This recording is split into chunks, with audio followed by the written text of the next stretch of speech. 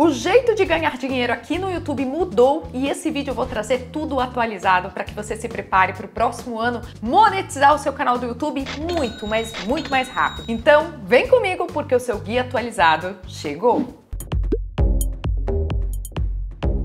Olá, que bom te ter por aqui. Esse é um espaço para profissionais como você que buscam se tornar referência na área e querem multiplicar o seu faturamento. Falando em monetização do YouTube, todo mundo vai atrás desse conteúdo buscando, afinal, como que eu passo a ganhar dinheiro com os meus vídeos do YouTube. Afinal, isso é muito difícil em outras plataformas como o Instagram. O TikTok até tem, mas você precisa também de muita labuta ali. E eu quero explicar para vocês como que funciona ganhar dinheiro com a criação de conteúdo aqui no YouTube. Eu trouxe para vocês quatro dicas dicas para acelerar esse processo e vocês começarem a ter essa renda a mais também com seus vídeos do YouTube. Mas antes de eu vir com essas quatro dicas, é muito importante eu ressaltar uma coisa que eu sempre levanto por aqui, uma bandeira que eu sempre levanto, que é o quê? Não dependa da monetização do YouTube, você deve ganhar dinheiro de diferentes formas.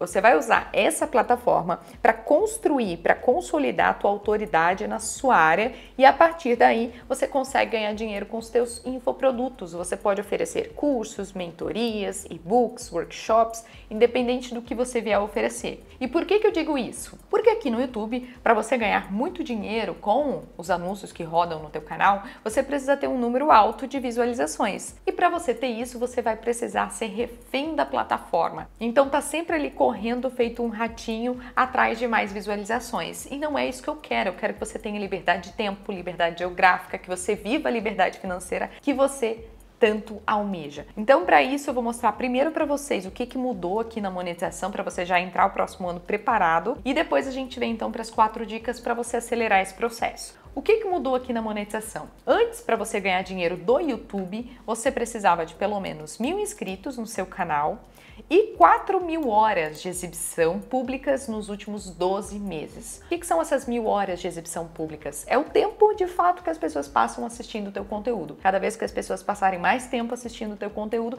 mais horas tu acumula. Então, 4 mil horas ou 10 milhões de visualizações nos shorts em 90 dias. Eu já trouxe um vídeo aqui explicando para vocês o que, que é mais fácil, 10 milhões de visualizações nos shorts ou 4 mil horas. E eu considero muito mais interessante até para sua marca que você foque aqui nas 4 mil horas. Já vou falar o que, que você vai precisar para conseguir isso mais rápido. Mas o que, que acontece? Quando você atinge esses requisitos, eles ainda existem esses requisitos, porque essa de fato é a forma que você tem para ganhar dinheiro do YouTube, ou seja, o YouTube pagar para você pelos anúncios que rodam no teu canal. E sim, independente se você tem mil inscritos, se você tem todos os requisitos atingidos, o seu canal vai rodar anúncio de qualquer forma, ok? Mas que você vai de fato ganhar dinheiro do YouTube é só depois de você conquistar esses requisitos e o seu canal ser aceito pelo programa de parcerias do YouTube. Você não pode ter nenhum alerta ou aviso de direitos autorais no seu canal. Eu já fiz um vídeo explicando o que você precisa cuidar com relação a esses avisos e alertas, tá? Vou deixar o link aqui na descrição para ajudar você para assistir em seguida.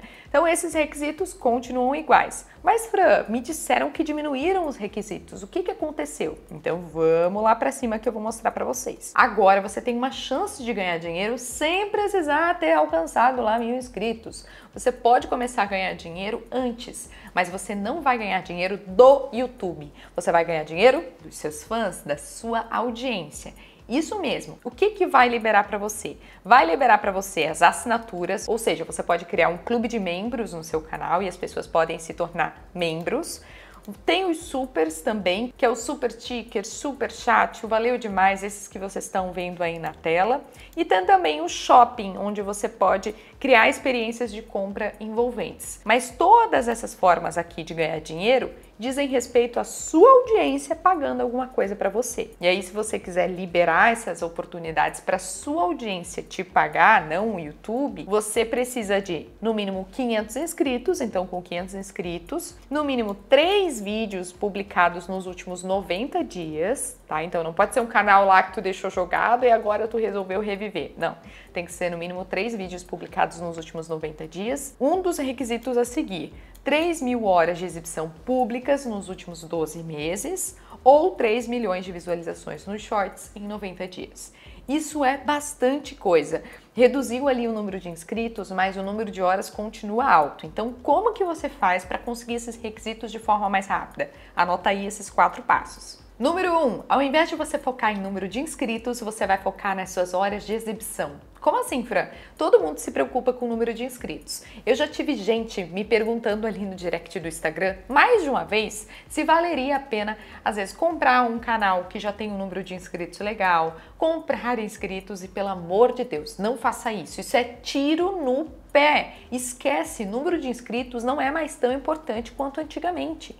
Número de inscritos não vai ditar o sucesso ou não do seu canal. Comprar um canal grande é tiro no pé. Você vai estar tá comprando só números por números, entende? É rasgar dinheiro. E isso não vai fazer diferença para o seu resultado final. Para que você de fato tenha um resultado que vai fazer sentido para o seu bolso, eu quero que você foque nas horas de exibição. Como assim, Fran? Eu quero que você foque em fazer com que a sua audiência não assista só um vídeo, assista vários vídeos do seu canal. Eu não quero que você foque em trazer cada vez mais e mais e mais pessoas para o teu canal. Não, eu quero que as poucas pessoas que chegarem no teu canal, que elas assistam mais de um vídeo seu. Aí sim, essa é a jogada. Você não tem que focar no número de inscritos, porque conforme as pessoas assistem mais e mais vídeos teus, mais a plataforma entende que seu canal é interessante e entrega para mais pessoas. Por isso, seu foco não deve ser no número de inscritos, mas sim nas horas de exibição.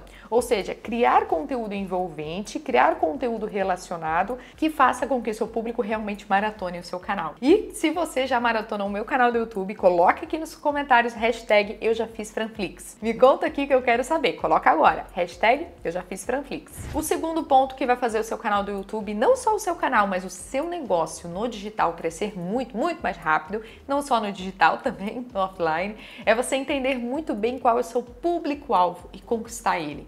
Muita gente não leva tanto a sério isso e fica pensando: ah, mas meu conteúdo é tão interessante, todo mundo vai se interessar. Se você fala com todo mundo, você não fala com ninguém. Eu sempre repito isso aqui e volto a repetir. Quanto mais você tem um público específico alinhado para sua comunicação, mais você vai conquistar os seus resultados muito, muito mais rápido. Vender os seus cursos mais rápido, vender as suas mentorias sem ter gente chorando pelo preço porque vai achar o preço justo. Isso, gente, eu aplico no meu negócio e vejo os meus clientes aplicando e tendo resultados. Então, acredita nisso que eu tô te falando. Foca no seu público-alvo, conquista essa tua audiência, identifica o que de fato essa audiência quer de você e traga a solução para ela, que com certeza você vai ó, conquistar o coração dessa pessoa. O terceiro ponto para você conquistar a monetização muito mais rápido aí nos próximos meses é você criar conteúdo de senso comum, principalmente quando você está no início do seu canal.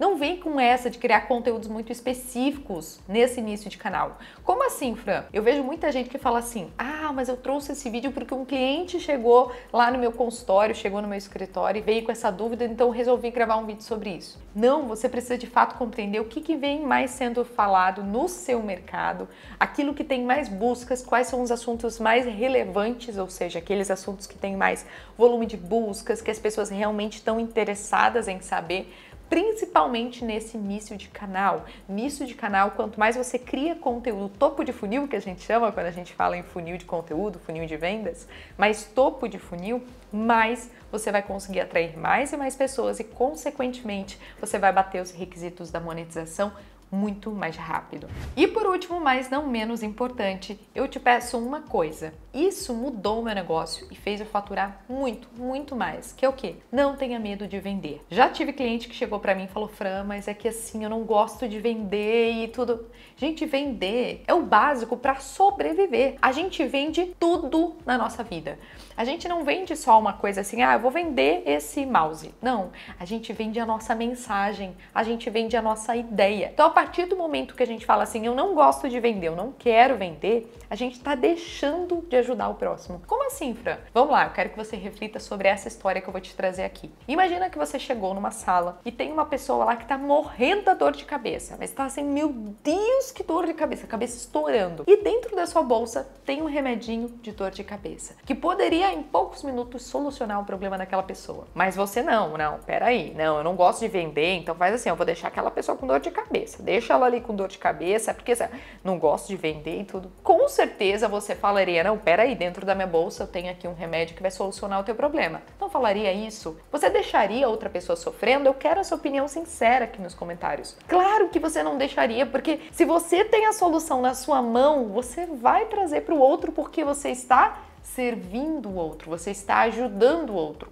Vender é servir, e eu repito isso várias vezes no meu canal e eu quero que você coloque na sua cabeça. Vender é servir. Quando você deixa de vender, quando você deixa de ofertar a sua solução, Coloca na sua cabeça, você está deixando de ajudar, você está deixando de servir o outro. Não tem nada de ruim, o dinheiro não é ruim. O dinheiro é uma moeda de troca, é energia. A pessoa quer a solução que você tem. Se ela quer a solução que você tem, que você às vezes levou até anos para ter a solução que você tem hoje, poxa, a moeda de troca de vocês é o dinheiro. E não tem nada de ruim nisso. A pessoa ganha, porque ela ganha um benefício de trazer a solução para o problema dela, e em contrapartida, você também é muito bem pago por isso. É um ganha-ganha e a vida é isso. A vida é dar e receber. Então, vender é servir. Se você quer de fato ganhar dinheiro agora no próximo ano e nos próximos, você está no canal certo. Então, se você ainda não se inscreveu, agora é o momento que você vai se inscrever, vai dar um joinha nesse vídeo e vai comentar. Hashtag eu já fiz ou eu farei um Franflix aqui no canal. Aproveita e dá uma olhada nesse outro vídeo aqui, você vai gostar bastante.